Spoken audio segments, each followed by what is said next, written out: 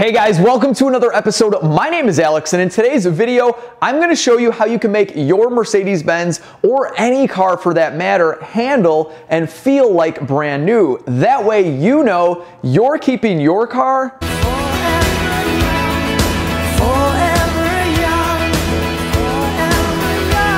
That song is about cars, right?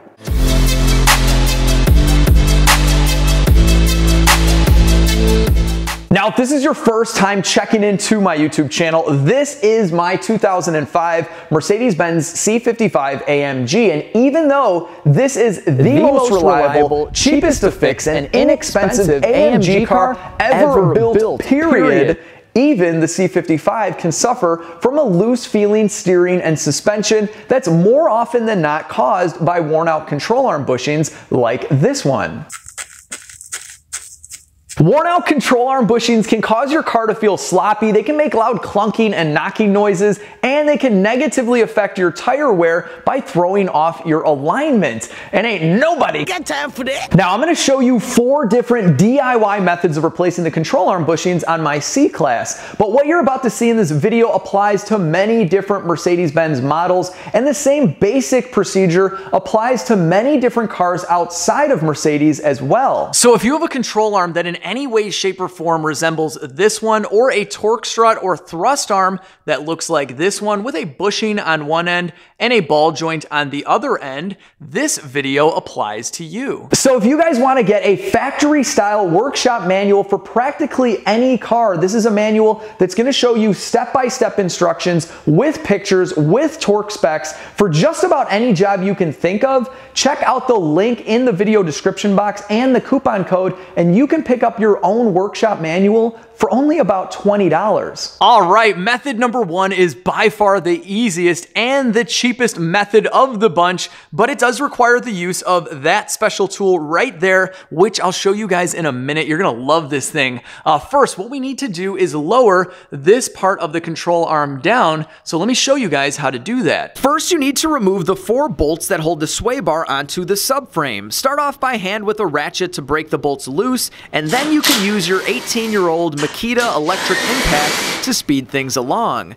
Now take two 21mm wrenches, preferably ratcheting wrenches, and start to turn the large bolt and nut that goes through the thrust arm bushing. Once you remove the nut at one end, just push the bolt through and you can lower the front of the arm. Alright guys, with the front of the arm lowered, you can really get a good look at just how bad this bushing is. Check this out. As you can imagine, a car like this is not going to handle very well at all. But luckily, we are just a couple minutes away from replacing this really bad bushing on the car by using this. This is a specialty tool made by Baum Tools, and I did get this from FCP Euro, so it does carry their lifetime guarantee. Now, this allows you to extract and install control arm or thrust arm bushings like these on the car, saving you a bunch of time, and time equals money. Now, this will require an initial investment. You got to buy the tool. It's about $260, but considering that most shops charge anywhere between two and four hours worth of labor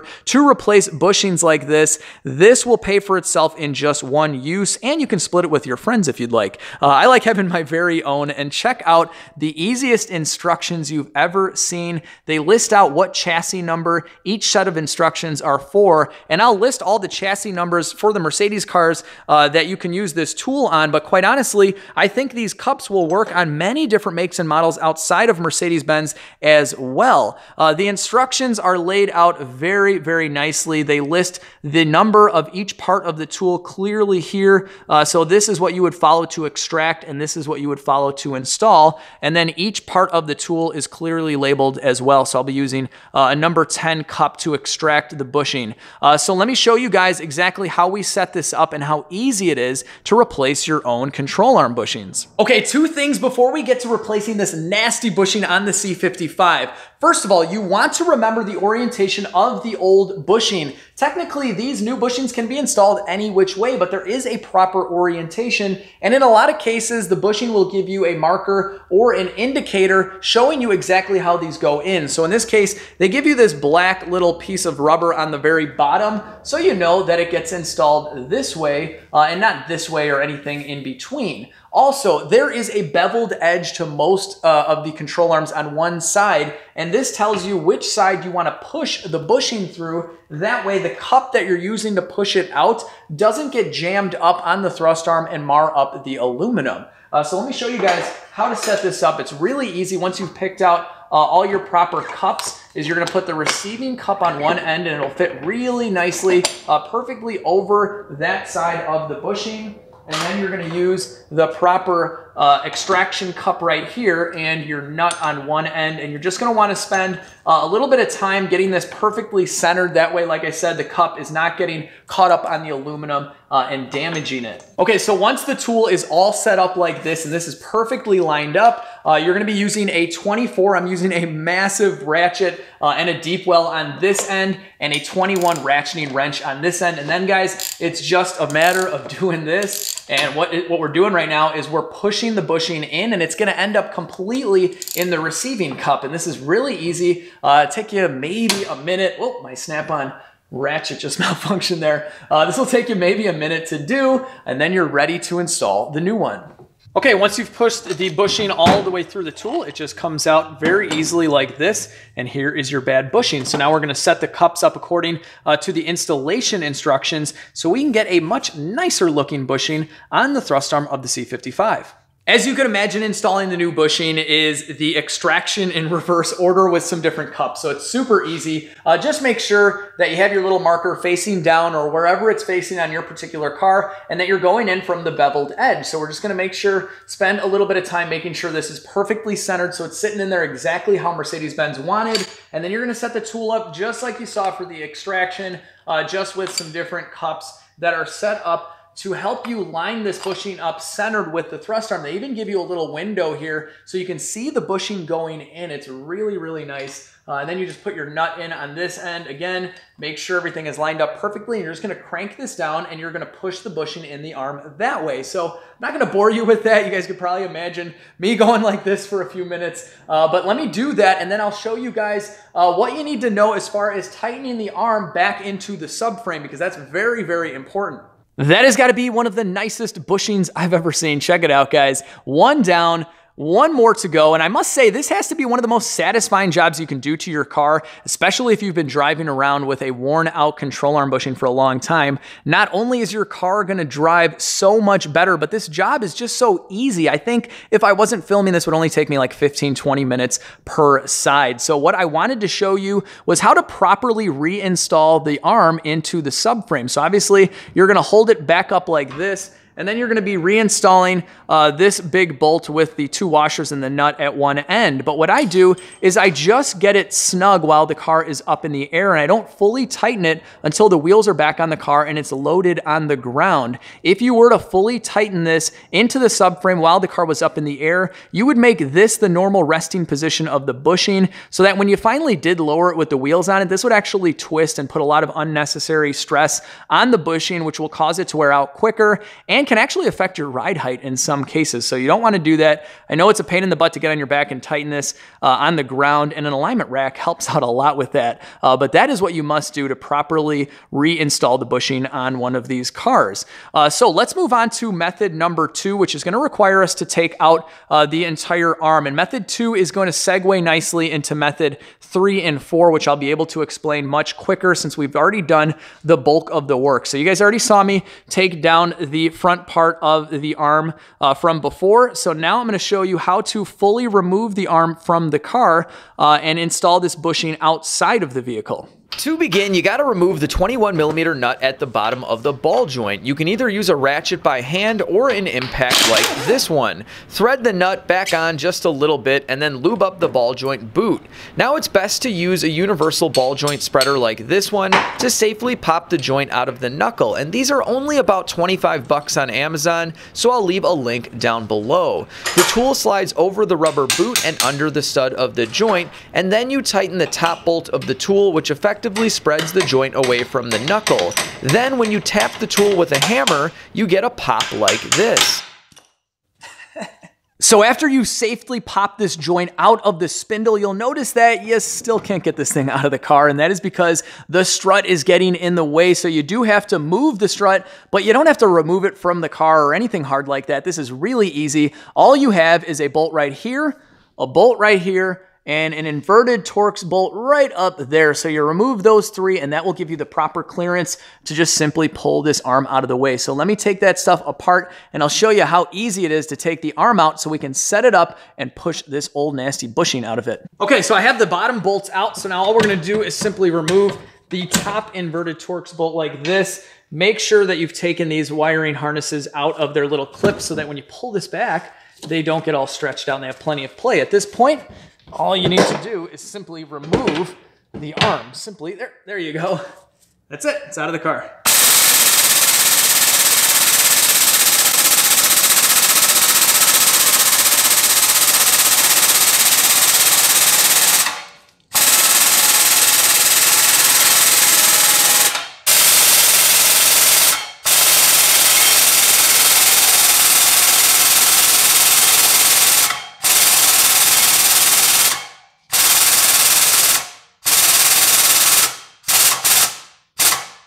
Okay, if you guys have never used a hydraulic press, they are a ton of fun. And obviously, whoa, this is method number two, is using a hydraulic press to press in your bushings. And I think I got that pretty even.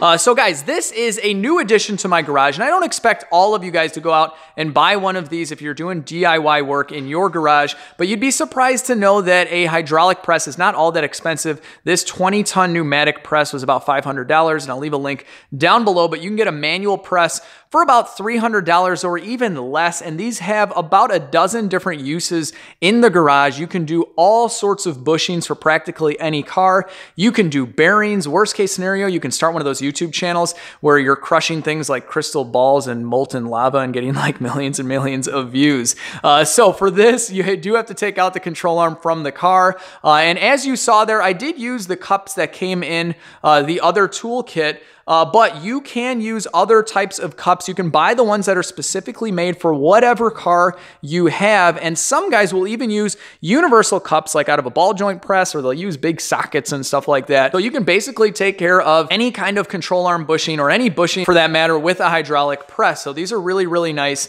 Uh, the Black Widow brand is the same company that makes this parts washer. So I'll list both of these down below. Uh, so far, so good with this one. It's working very, very well and it looks pretty awesome in black. That's what I went with it originally. Uh, so you guys are probably also wondering what these awesome bushings are on these thrust arms right here. Now this is a new product from FCP Euro. So this is a high performance bushing. This is meant for handling. It's a lot more firm than the factory Mercedes bushing. And this is gonna really tighten up the feel of your car and make it handle a lot better. I won't be putting these on the C55, but I might be putting these on another project coming up, a non-AMG Mercedes project project that I want to handle a lot better than it does from the factory. So stay tuned uh, for that. And then, of course, the factory Mercedes bushings I got from FCP as well. I think they were about 50 bucks for both of them with the lifetime warranty. So let's move on to methods number three and four. And I'll be able to go over these very briefly uh, because they go hand in hand with just about everything you've already seen in this video. If you're watching this video and thinking, Alex, I am not buying any special tools,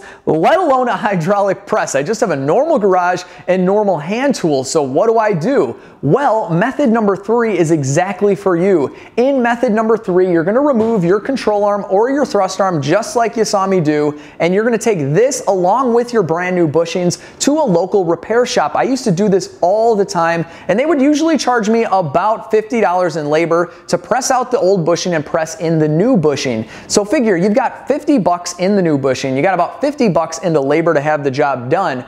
$100 in and you have brand new control arm or thrust arm bushings on your car. Now remember I said shops charge about two to four hours to do this job depending on your model and at a 125 or 150 bucks an hour, you're gonna save two, three, four hundred dollars by doing this yourself at home. Next up, we have, you guessed it, Method number four. In this method, we're gonna be replacing the entire arm. Now, this would apply to people that have a bad ball joint at the other end, and this is really easy to figure out. When this is still on your car, all you do is just kind of tug up and down on the arm from here, and if you see any movement at all in this joint, you need to replace the entire arm. Uh, so in that case, the bushing, not this awesome new bushing, but the normal bushing is already pressed into the new arm. These are about $100 each, so not too bad. This would also apply to people maybe with higher mileage or someone that just really loves their car and just wants a nice new shiny arm on their car,